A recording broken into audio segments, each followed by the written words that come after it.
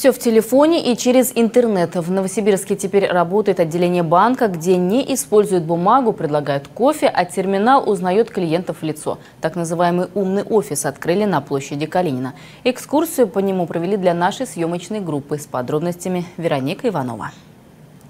На входе в отделение нет привычного ресепшена, только терминал. Он узнает действующего клиента по фото в базе и сразу подает сигнал менеджеру или предлагает этим клиентам стать. Я являюсь клиентом банка, у меня принято Face ID, и меня, соответственно, сразу узнала камера и отправила сюда информацию и информацию сотруднику, который сейчас ко мне подойдет.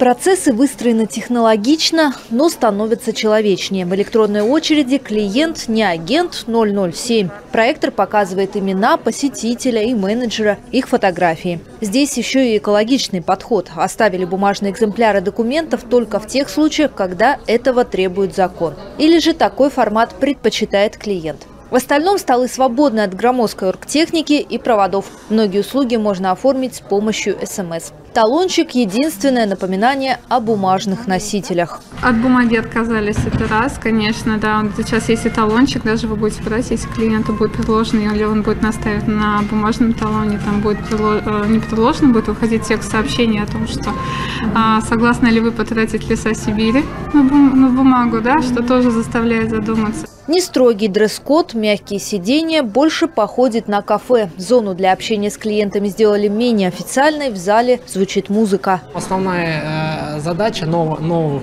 офисов – это с, э, простыми операциями работать быстро. У нас банкоматы, приватный банкомат – касса, карточки, это все быстро вот здесь мы выдаем выписки. А вот со сложными продуктами, уже где надо время пообщаться, рассказать, мы уже используем более такой свободный формат. Плюс система подсказывает, какие предложения актуальны для клиента, в том числе на основе его истории взаимоотношения с банком. Офис такого плана занимает и меньше места. Большая часть в нем отведена под самообслуживание банкоматы. Есть и приватные для операций с большими суммами. Я считаю, что это хорошая тенденция, что все это внедряется в работу дальше потому что все-таки время на месте не стоит, и это должно уже как-то в нашу жизнь проникать. Этой осенью еще один умный офис банка планируют открыть в Академгородке. Постепенно так организуют работу во всех отделениях.